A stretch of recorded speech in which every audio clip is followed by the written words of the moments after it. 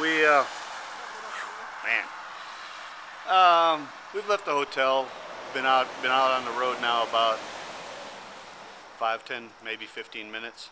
And uh, as we left the hotel, it was pretty clear and pretty dry, but the rain has come through and the road is pretty damp. And uh, it's not slick or anything, but there's kicking up a lot of water. And so we have stopped to participate in probably the grossest ritual of motorcycling and that is the the putting on of the rain suit. Um, Kim has had more success than I. What do you say, dear? It's still a pain in the butt to put these things on, but I'd rather be dry than wet, so I guess I'll have to deal with it. And I've got mine on okay. Usually it takes me forever to do it.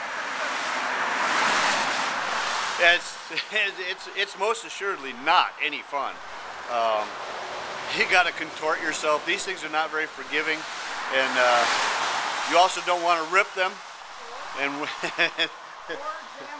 or jam the zippers, which is pretty common on these things, and, um, and and you even need to take your gloves off, which I didn't do, and I'm discovering that was a mistake. But uh, we're, we're heading toward the ferry because uh, what the heck? We've ridden it one way across the river in the rain. It's time to reverse that and ride it the other way in the rain. Maybe someday we'll ride it in the sunlight. That's why we are in the sunshine. That's why we uh, that's why we went this way. Our hope was that we would ride it in the sunshine, but we're not. We're riding it in the rain, and that's that's hey. I learned this in New Orleans. That's just the way we like it.